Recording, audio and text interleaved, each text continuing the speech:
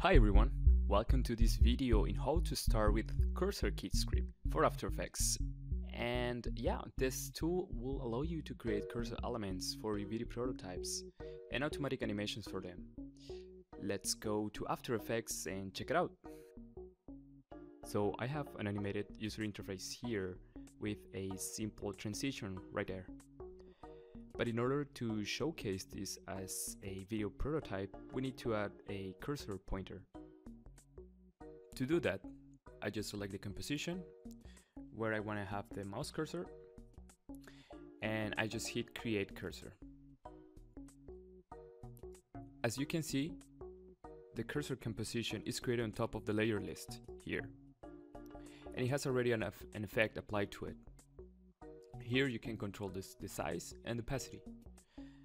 In my case, I guess I'm just gonna go and hit, uh, I guess, 50% because it's too big and that will do it. So now I want to animate. To animate, I'm just gonna hit position, click on the stopwatch and move forward a little bit just to create another one. Uh, let's see, I want to move here.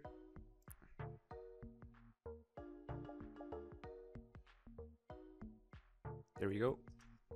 So I need to change the mouse at this point because uh, I want to add a hover effect. To do that, again, let's make sure we are in selecting the composition and I just hit the mouse type that I want to change. Let's say this hand and it's already there. And it will animate it will the change will happen in the in, in the current time.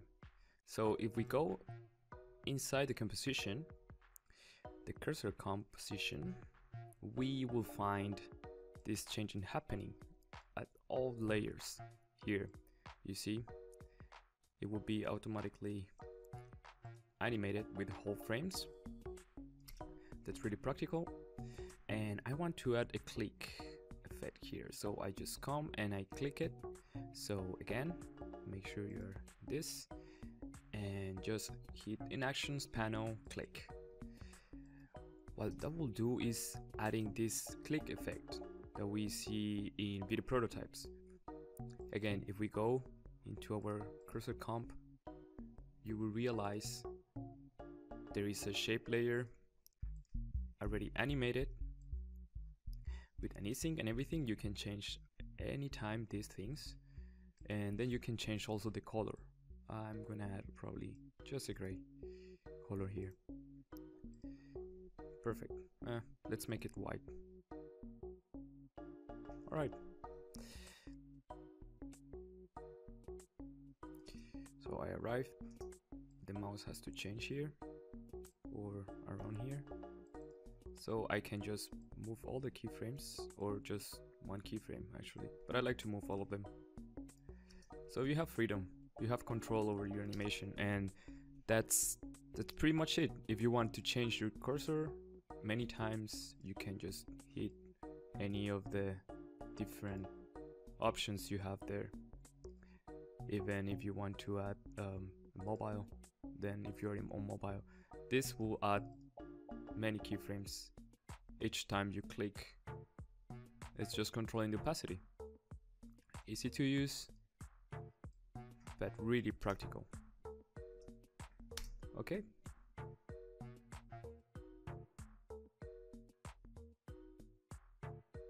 Alright, so now I want to show you mm, the other features of the tool.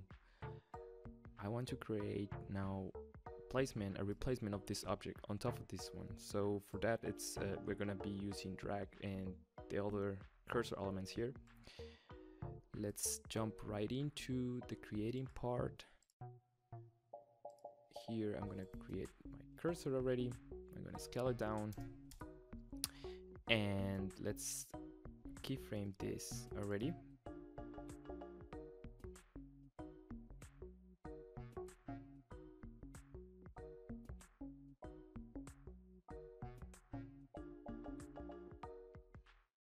So now I'm gonna change the, the cursor here.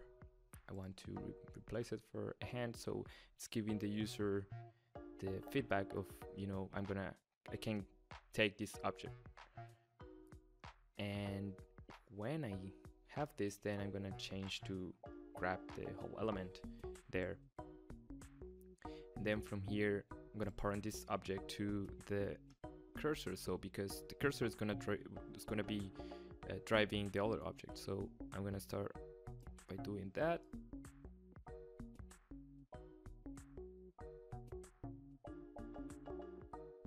So I'm just gonna move it around here. And then from here I'm gonna animate this object manually. So it's free. I duplicated actually that layer twice here or just once and so I have a different I don't have all the time this the, the element moving with the cursor. Uh, that's something quick that I did but you can of course uh, create a rig for that. And yeah let's just then drop this one here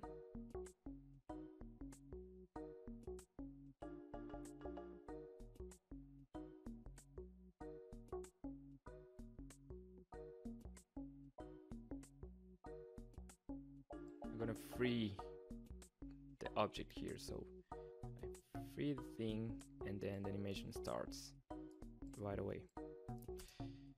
Yep. So something like this.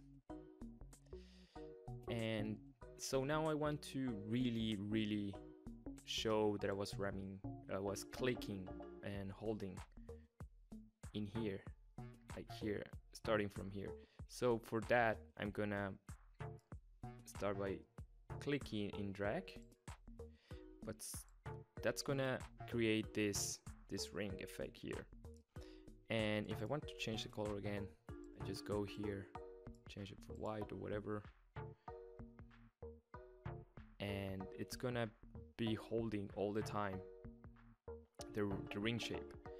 And as soon as I want to you know free the click I'm saying okay I'm holding all this time and then here I'm, I'm just you know freeing the object here and letting it go. So for that you can just um, hit shift and then again drag.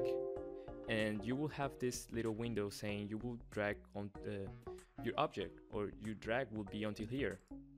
You click accept and then you can see the animation will will uh, play uh, backwards so you have this nice you know feedback for the user saying that you know the ring it's gonna you you're unclicking or you're letting go uh, the, the hold effect the holding down. So yes that's it for the normal cursor. Let's jump into the mobile cursor.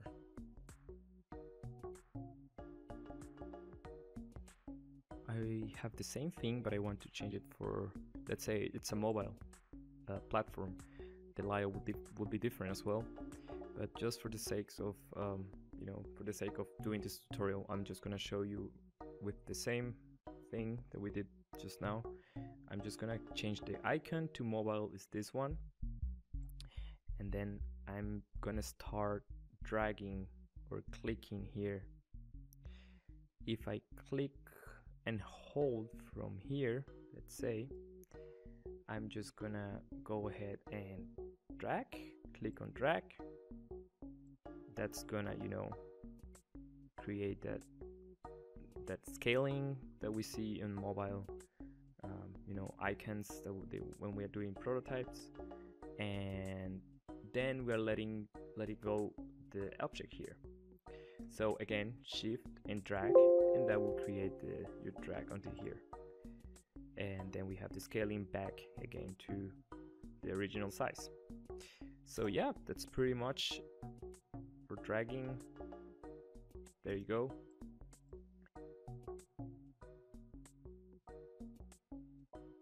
So far we have most of the cursor types uh, already showcased. So let's check the last one which is the uh, you know text typewriter effect and just a text icon is really simple. I'm gonna start by creating again I mean composition pages 2 so I'm just gonna create my cursor here.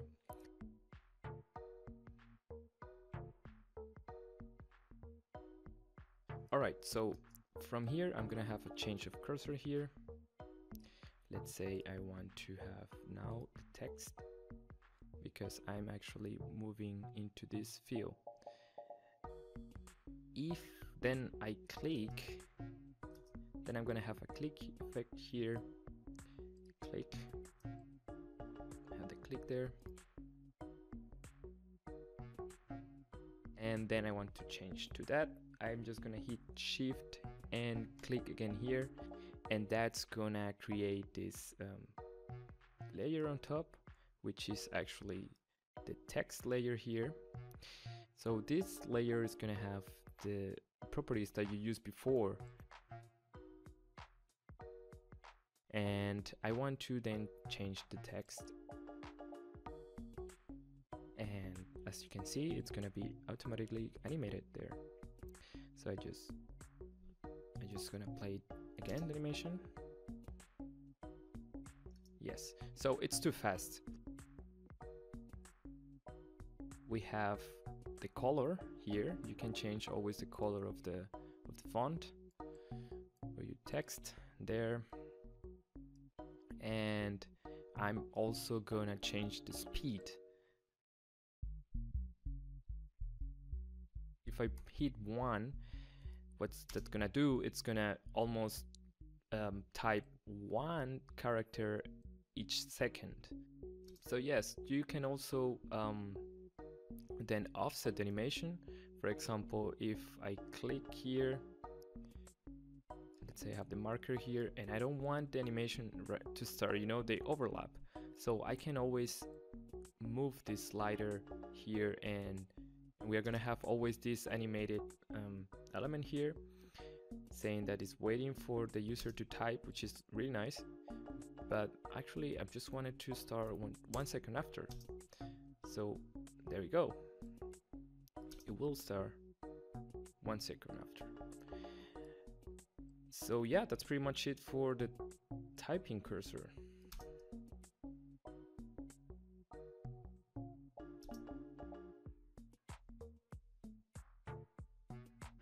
the last feature is really simple. I'm gonna create my cursor here and let's say I want to have a scrolling effect. Um, I actually, I personally don't like this this feature. Uh, it, it was just added because uh, some people requested and I was doing that a lot in video.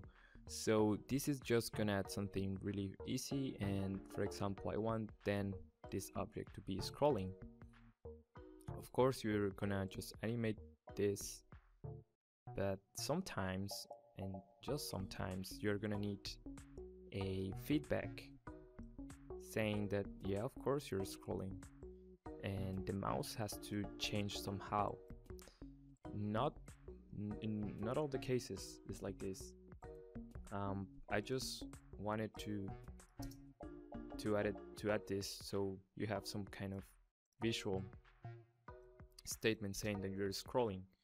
So for that, I just gonna, you know, add scroll, uh, hit the, this two button. So this case, I'm scrolling down.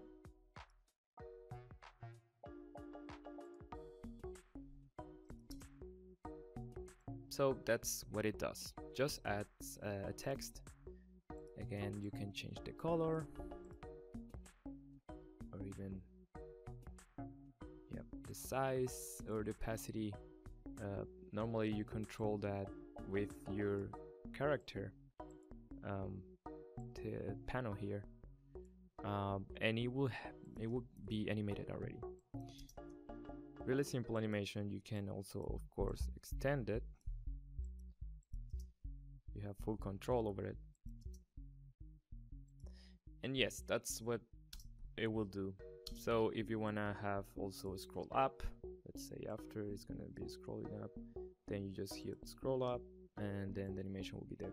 It's going to be creating these different layers one on top of another because I want to have uh, freedom.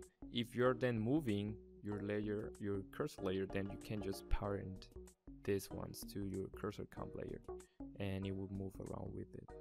But I would like to have freedom with this and just you know probably animate this in a different way. So that's why I just um, let it out. It was before in another script um, version I had this uh, parented already but it, it was better to have it like this. So that's it. Thank you for watching this video